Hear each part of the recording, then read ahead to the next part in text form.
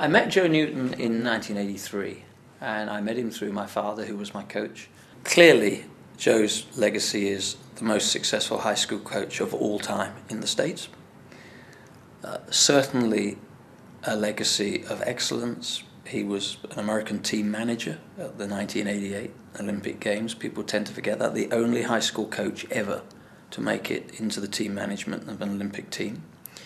That was always, that was always traditionally the preserve of the college coaches, you know, the Sam Bells from Indiana, Brooks Johnson, Stanford, those, those, that kind of guy, those, that level of, of coach. For a high school coach to make it was pretty, well, it was unique. Good coaches are instinctively very good psychologists. You don't need a sports psychologist if you have a good coach.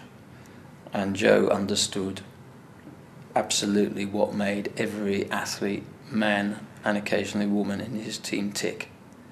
And I think that they often say that great coaches know an awful lot about the events that they coach. I actually think great coaches know more about the people than they, that they coach than the events that they inevitably discipline in.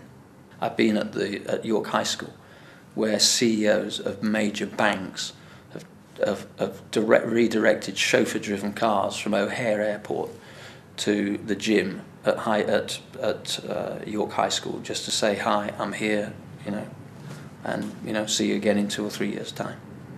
Joe Newton uh, was, is, and will always be a great inspiration for me. He, I came to, to train in Chicago with him before the 84 games. Uh, I went there six weeks before when the previous year had been very difficult in health terms for me. I'd only just made the British team in 84 and I think Joe was an inseparable part of my 1984 Olympic win in Los Angeles six weeks later.